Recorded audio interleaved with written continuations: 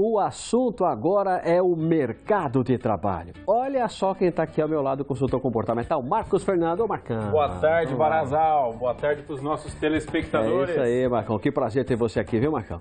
O prazer Olha, é todo meu. Eu sei que você sabe que você é um bom vendedor, viu, Marcos? Eu sei Obrigado que você é um bom vendedor, Barazal. você sabe se vender. Agora, como é que você vende a sua imagem para a empresa? Você sabe se destacar, sabe destacar as suas competências? Esse, Marcão, é o principal tema do quadro Talentos e Carreiras de hoje. O repórter Cássio Andrade foi às ruas de Sorocaba ouvir algumas pessoas sobre isso. Eu convido você e os amigos telespectadores a assistir aqui. Para se dar bem no mundo corporativo, você tem que saber vender. Inclusive, você sabe vender a sua imagem no mercado de trabalho. Você consegue promover as suas qualidades e dizer para a empresa que está te contratando que isso vai ser uma boa jogada para eles?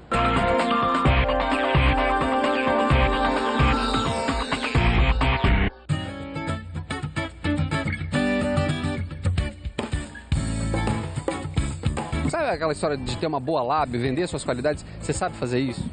Ah, eu procuro. Promover no mercado, assim? Sim. O que você faz? Ah, eu sempre tento destacar minhas qualidades, né? Procuro, sou pontual, sou comprometida, sou responsável. E chefia reconhece? Reconhece. Graças a Deus, pelo menos onde eu tô, reconhece. Eu tentava oferecer o meu trabalho sempre acima daquilo que os outras pessoas ofereciam. Tem que ser simpático, tratar as pessoas com respeito, com educação, a ser alegre, né? Agora, você acha que o patrão tá vendo isso? É, eu acho que tá, né? Porque faz 10, quase 10 anos que eu tô lá, né? Para vender a sua empresa, onde você trabalha, para os outros clientes, o que, que você faz? Primeiro a gente tenta destacar as qualidades dos funcionários, né?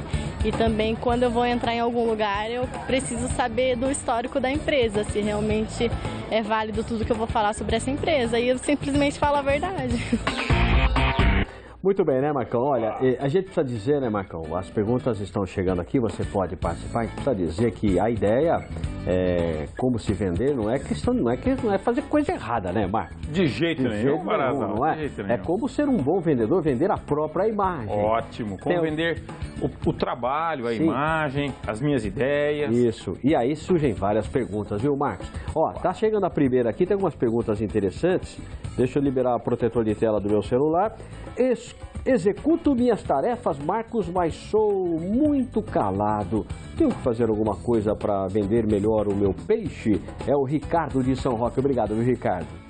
Excelente pergunta, Ricardo. E a primeira qualidade de um bom vendedor, a primeira habilidade é ser um bom comunicador. Isso. Não adianta, é o ditado muito antigo, não adianta ser honesto.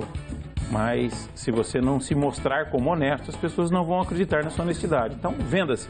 Muito bem. Me- no meu serviço faço tudo o que me pedem, Marcos. Só que não faço propaganda disso. Como posso tornar isso mais visível ao olhar do meu chefe? É o Gerson do bairro Ipanema, Vila e Sorocaba. Tá na mesma linha da primeira pergunta, né, Marcos? Boa comunicação. Como é que ele deve É fazer? boa comunicação. É mostrar o trabalho.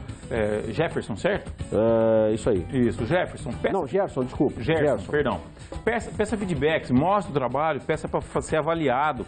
É uma boa maneira de, ser- de- de você mostrar isso. Comunique- Comunique-se com o seu chefe, mostre o seu trabalho, peça para ele te avaliar, peça uma opinião do seu trabalho, pergunte o que ele está achando.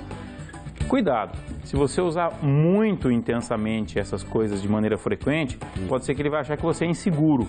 Opa. E autoconfiança também é uma habilidade de bons vendedores, então coloque-se É. confiante. Autoconfiança, é isso aí, Marcos. Ok. Poxa, Marcos, tem gente que tem medo de pedir essa avaliação, né?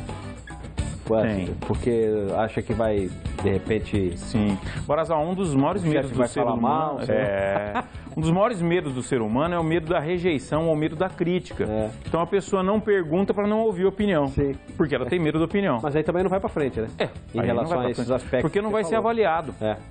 As pessoas têm medo de ser avaliadas por medo de ser criticado. A avaliação é importante por quê? Porque quando a pessoa me avalia, ela teste um conceito sobre mim. E se o seu trabalho é bom e você tem confiança ou autoconfiança para mostrar isso, então você precisa dessa avaliação para poder avançar. Quem tá fazendo o certo não precisa ter medo, né? É Exatamente, isso. Barazal. Boa tarde, Marcos Fernando. Adianta ter boas habilidades de fala e dicção, mas não transmitir uma boa aparência. Valdir do Jardim Astro Sorocaba. Eu reparei, viu, Marcos? Na hora que a gente tava com, essa, com esse povo fala que a gente chama aí nas Isso. ruas, não é? Eu reparei que você viu, puxa, aquela expressão ali não estava muito convincente com o que É. ela estava falando. Estava falando uma coisa, mas estava demonstrando outra, né? Boa, adorei a pergunta, Barazal. É Valdir do Jar- Jardim Astro, certo? Valdir, é isso aí. Valdir. Valdir, vamos lá. Então, algumas dicas rápidas. A gente é comprado pelas pessoas por três canais que elas avaliam na gente. A nossa aparência. A primeira coisa que a pessoa avalia é a aparência. Segundo, a nossa argumentação. E terceiro, as nossas atitudes. São os três As da venda pessoal. Então, você precisa ter uma boa imagem, sim. Você precisa ter uma boa argumentação, com certeza.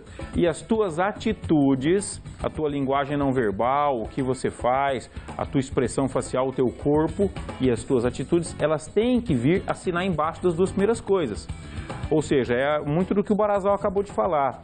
Numa das entrevistas a gente percebeu que a pessoa está falando que ela é confiante, mas ela não, Não confia tava muito muito, convincente, é, não está muito convincente, e aí não vende. É isso e aí não vende, ok? Tá certo. Até para sentar a cadeira precisa ter postura, né? Exatamente, postura para tudo. A forma como você caminha, Barazal, a forma como você olha, a forma como você dá a mão, já são maneiras da gente se vender. É verdade, é isso aí.